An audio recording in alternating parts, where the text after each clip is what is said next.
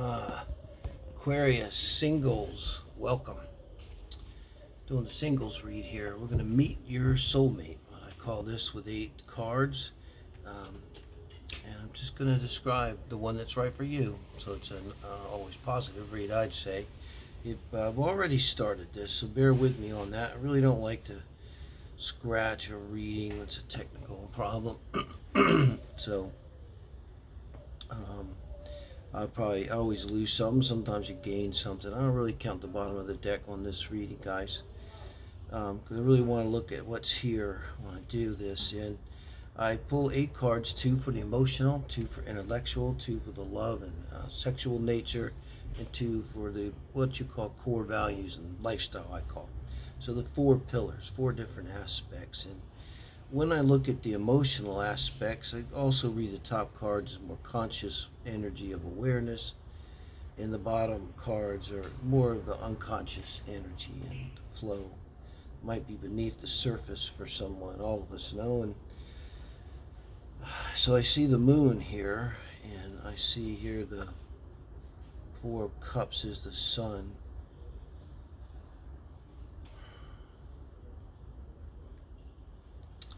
I feel like this is a Leo sun.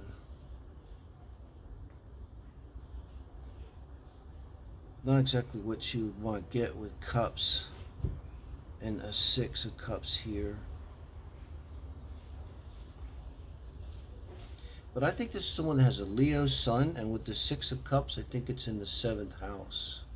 Which makes them aqua rising, more likely you know, you could have split house, but I there's a chance, right? So Aqua sets the houses, and then, um, so we would have a Leo sun um, that's acting like uh, it's got to be in a water house, and it's got to be uh, could be conjunct Neptune. There's going to be something like that. You got the Fool here too. That works for that too. I'm still thinking about the moon because. Um, I think you've got fire moon too. I think it's Aries. I think this is a very unusual person. There, um, you know, I'm about four plant Sagittarius. I mean, I have I feelings. I'm emotional now. Um, I don't know. Maybe not to uh, somebody. I got a Capricorn moon. I mean, I got a Cancer moon though. I mean, that helps. But um, so this is someone. It's it's classically comes to mind. I'm thinking these people say astrology, I'm not saying they say this, uh, they may well be into the esoterics with the Fool and the Six Cups here, you know, even to soulmates, you know. But they might say, well, astrology, you know, I, here I am, this Leo, and I should be all like this, they say, and I'm not, you know, because maybe they don't really act like a Leo. Um, so, meaning, you know, they might not exactly light up the room. They might come in a little uh, more uh, empathic too. You would think with fixed fire here, and then even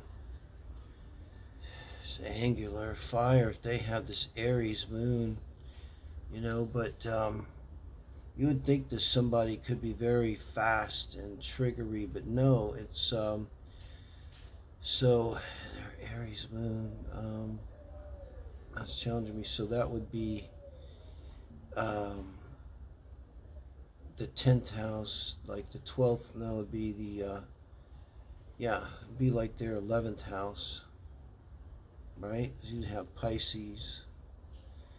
So, um, I kind of get this, it, it's like they're very concerned about other people and how they interact with other people. So it's that part of Leo, maybe.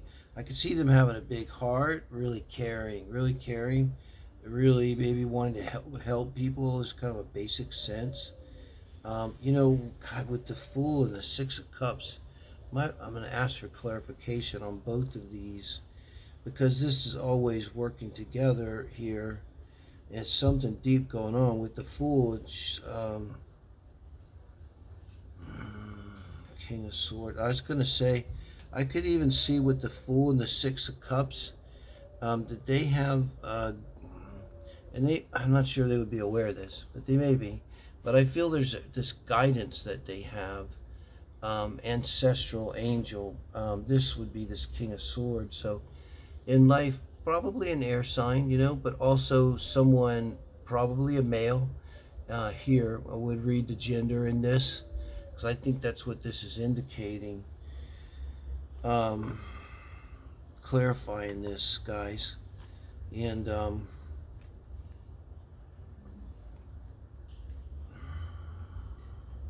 yeah, they might know about this. They might know about this. This will be somebody, you know, in life they were commanding, they were mm, probably prosperous, um, known to be kind of strong or solid or something like that. This King of Swords figure.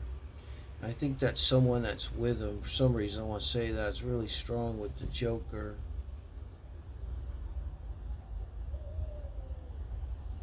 You know, I get to like, there's look at you. Oh man, this three of wands. How there's so much feeling in this, so much longing too in this moon, in this Aries moon, and this could, you know, an Aries moon. You could say as an astrologer, I might could say, well, it's I want moon. Your moon is how what you need. It's like I, I want. It's like uh, everything would be immediate. You know, emotions might be felt very strongly, very me, like they're kind of a little bit could be overwhelming.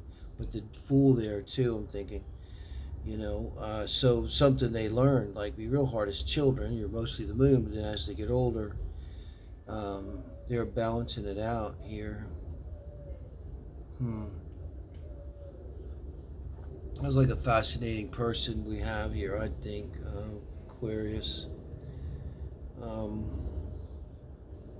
there's something about this person they have that they might be an Aquarius too, personality. You could try. I mean, I'm so fascinated with this. Look into their either grandfather. Could be a female. I don't know. I don't think so. Because you could go back a few generations either. I think, like, I think sometimes they even skip and maybe you don't even know them but they knew your parents, right? And you know, they're in spirits, you know, right? I, I think. Uh, um,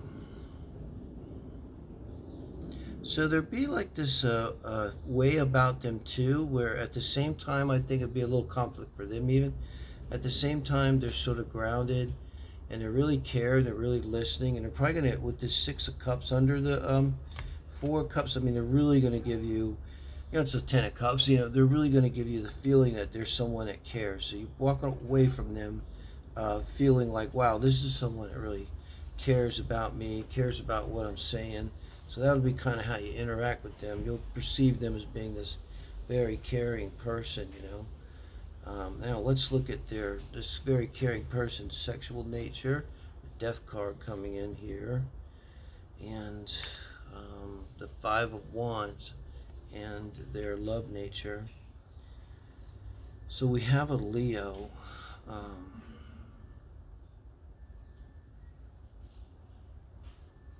and the death here. You really couldn't have, uh, I gotta think they have Scorpio. So in this case, the death could be their Mars. And um, the Five of Wands would indicate um, uh, Venus, Leo Venus. Um, and then they darn well could have uh, Mars and Scorpio. Um, and this, you know, I was gonna say, man, this person's like so complex. Um, and with this Scorp Mars and Scorpio energy, um, there's a great uh, bit of power like underneath, and there's probably layers to this person that um, I'm getting the feeling of my ex-wife for 25 years um, that uh, no matter until they die, no matter how much they love or how much someone cares or how sensitive you are, there's going to be parts of them that no one's ever going to access. There's layers and layers and layers. Maybe that's true for everyone, but they got the feeling that's going on here. Um, now you know they could be square here in this fixed energy. Sorry, mosquitoes, I know. They don't get the peace and love treatment. But, um, so you know, this uh, energy for them is a little bit of the contradictions for them. I imagine um, they could be if a male protector male, female protector male, uh, mama bear, however you want to look at it. And um, they're at the same time with, the Mars, you know, they uh, like you may often never see what they're doing, and there has to be hella wheels and and uh, sack. I don't know. Um, it's got to be just it's an amazing combination here, guys. Um, and I don't see any reason why it won't meet you well. but I have a Scorpio Venus, so I don't know. Uh, Scorpio Mars don't scare me. Um, let's see what we have here. This is core values, Ace of Cups. I'm feeling about that right out of the chute. And, oh my God, the Hanged Man. Okay, I was almost, I'd love to see the Fool again here, but the Hanged Man will do.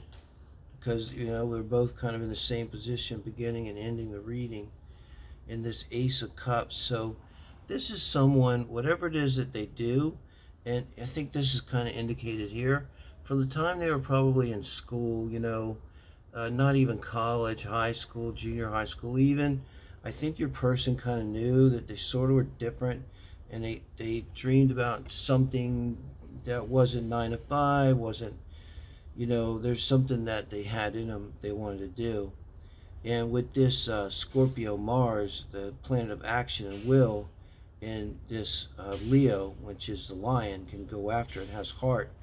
You know, I think they, they really this is someone you could say they really followed their own uh, course and um, whatever they're doing it's very much um, exactly what they want to do that's what this ace of cup means here so in terms of like the household and stuff i don't see someone's going to have a large opinion about that particularly um, but I do see someone that whatever it is that they're doing, whatever they are involved in, whatever energy they're doing with their life, is very, very important to them, you know, very important.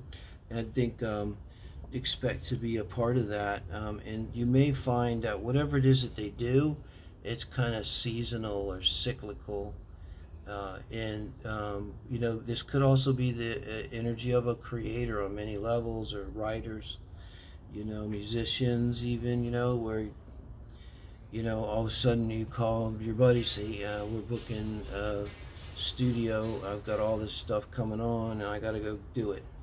You know, maybe even sitting it out for a while, you know, or suddenly this stuff comes and you got to write it all down, you know.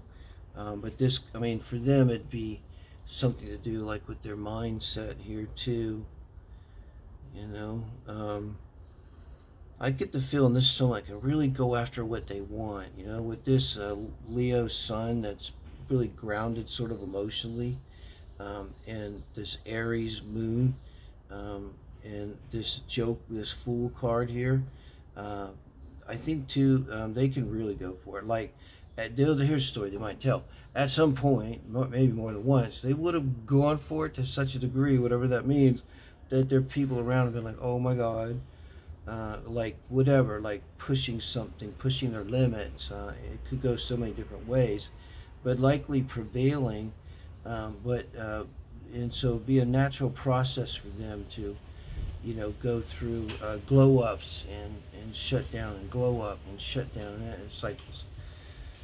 Wow, thank you uh, guys. Um, appreciate it. Give me a like, thumbs up, tell friend, tell friend. And if you haven't subscribed, please do. Thank you.